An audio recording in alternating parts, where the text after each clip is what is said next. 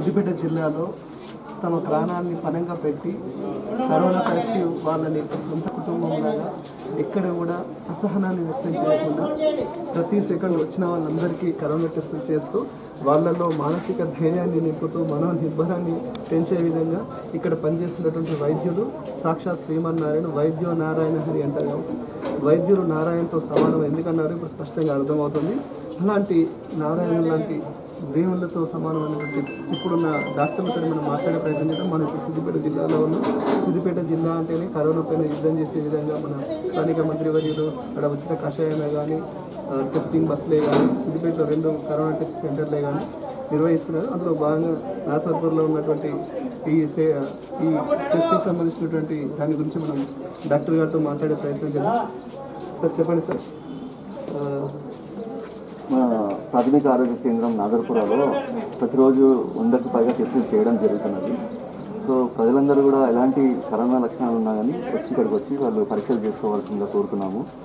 మన మంత్రివర్యులు హరీష్రావు గారు మన కలెక్టర్ గారు జిల్లా యంత్రాంగం అంతా కూడా ఈ కరోనా పరీక్షల మీద ప్రత్యేక శ్రద్ధ పెట్టినాము. సో ప్రతి ఒక్కరూ ఎలాంటి అనుమానం ఉన్నా కానీ కరోనా పరి- పరీక్ష చేసుకోవడానికి ముందుకు రావాల్సిన కోరుతున్నాము.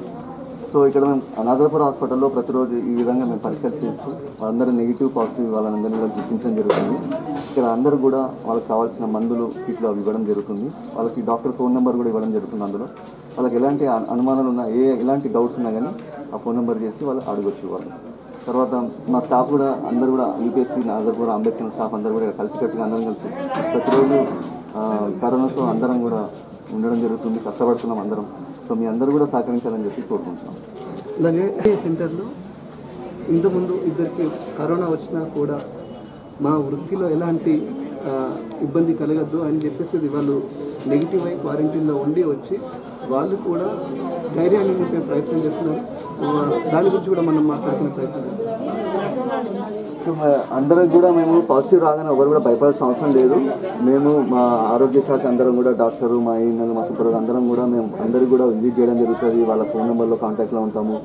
ఎలాంటి ఇబ్బందులు ఉన్నా కానీ మమ్మల్ని సంప్రదిస్తే తప్పకుండా మీకు సరైన గైడెన్స్ ఇక్కడ దాదాపు వందకు పైగా టెస్టులు రెగ్యులర్గా చేస్తున్నారు. కొంత నెగిటివ్ వచ్చి పాజిటివ్ వచ్చినప్పటికీ కూడా మరి వారి మా పాజిటివ్ వచ్చిన వాళ్ళని ఎలా కౌన్సిలింగ్ చేస్తున్నారో తెలుసుకునే ప్రయత్నం సో ఇక్కడ మేము టెస్ట్ చేసిన తర్వాత నెగిటివ్ పాజిటివ్ అనే విషయం వాళ్ళకి పేషెంట్స్కి చెప్పిన తర్వాత వాళ్ళకి ఈ మెడిసిన్స్ ఈ కిట్ ఇవ్వడం జరుగుతుంది. ఇందులో వాళ్ళకి సంబంధించిన కరోనాకి సంబంధించిన మందులన్నీ కూడా ఇవ్వడం జరుగుతుంది. అలాగే ఇలా మేము ఇక్కడ డాక్టర్ ఫోన్ నెంబర్ కూడా రాయడం జరుగుతుంది. సో పేషెంట్ ఈ ఇంటికి వెళ్ళిన తర్వాత వీళ్ళు ఈ గో- ఈ గోళీలు ఎలా వేసుకోవాలి? తర్వాత వాళ్ళకున్న అనుమానాలన్నీ కూడా నివృత్తి చేయడానికి డాక్టర్ గారు సంప్రదించవచ్చు డాక్టర్ గారు కూడా మళ్ళీ వీళ్ళ నెంబర్లన్నీ కూడా డాక్టర్ గారు పంపిస్తాము. వాళ్ళు కూడా ఫోన్ చేయడం జరుగుతుంది. సో ఈ మాత్రలు వేసుకుంటున్నప్పుడు కూడా ఎలాంటి సమస్యలు వచ్చినా కానీ డాక్టర్ గారిని సంప్రదిస్తే మీకు అన్నీ కూడా మీకు క్లియర్గా వాళ్ళకి ఎక్స్ప్లెయిన్ చేయడం జరుగుతున్నది.